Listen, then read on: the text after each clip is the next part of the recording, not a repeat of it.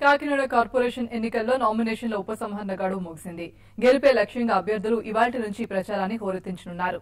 అటు మెజార్టీ సాధిస్తే మేయర్ అభ్యర్థి ఎవరిదనే దానిపై మాత్రం టీడీపీ వైసీపీ సస్పెన్స్ కొనసాగిస్తున్నాయి. కాకినాడ కార్పొరేషన్ ఎన్నికలు రాష్ట్ర వ్యాప్తంగా ఆసక్తి రేపుతున్నాయి. కోర్టు తీర్పు నుంచి మేయర్ అభ్యర్థి వరకు అనేక అంశాలు ఉత్కంఠ కలిగిస్తున్నాయి. నామినేషన్ల దాఖలు ఉపసంహరణ ఘట్టం ముగియడంతో అభ్యర్థులు ఎవరనే విషయంలో స్పష్టత వచ్చింది. రెబెల్స్ బెడద లేకుండా చూసుకోవడంలో ఇరు పార్టీలు దాదాపు సక్సెస్ అయ్యాయి. మొదట్లో ఆశావహులు అధికంగానే ఉన్నా చివరికి వారందరికీ ఎలాగోలా సర్ది చెప్పి నామినేషన్లు ఉపసంహరింపజేశారు. మొత్తం నలభై ఎనిమిది వార్డులకు ఎన్నికలు జరుగుతుండగా వైసీపీ ఫ్యాన్ గుర్తుపై నలభై ఎనిమిది మంది బరిలో నిలిచారు. టీడీపీ బీజేపీ ఉమ్మడిగా పోటీ చేస్తుండగా ముప్పై తొమ్మిది చోట్ల టీడీపీ తొమ్మిది డివిజన్లలో బీజేపీ అభ్యర్థులు బరిలో ఉన్నారు.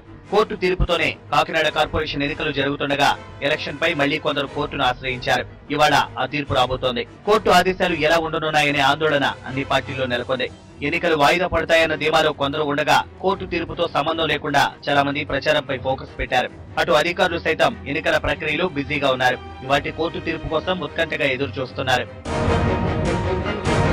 నామినేషన్ల ఉపసంహరణ ప్రక్రియ ముగియడంతో ఇవాటి నుంచి ప్రచారం జోరందుకోనుంది. పార్టీల వారీగా అభ్యర్థులు ఎవరనేది తేలిపోవడంతో ఇక ప్రచారంలో కాకినాడ హోరెత్తిపోనుంది. సభలు ర్యాలీలు ఇంటింటి ప్రచారంతో దూసుకుపోవడానికి అభ్యర్థులు సమాయత్తమవుతున్నారు. అటు మేయర్ అభ్యర్థిత్వంపై మాత్రం రెండు పార్టీలు ఎటు తేల్చుకోలేకపోతున్నాయి. ఇప్పుడే మేయర్ పేరు ప్రకటిస్తే పార్టీలో ప్రాబ్లమ్స్ వచ్చే అవకాశం ఉండడంతో ఆచితూచి అడిగేస్తున్నారు. టీడీపీ నుంచి ముగ్గురు వైసీపీ నుంచి ఇద్దరు ఆశావహులు మేయర్ పీఠం కోసం సీరియస్గా ప్రయత్నిస్తున్నారు. అయితే ఫలితాల తర్వాతే మేయర్ అభ్యర్థిని ప్రకటించే అవకాశం కనిపిస్తోంది.